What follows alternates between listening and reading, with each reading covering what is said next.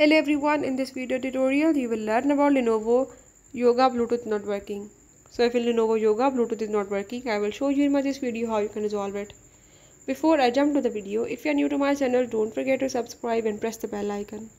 Let's watch complete video, follow all the steps and you will see it how you can do this.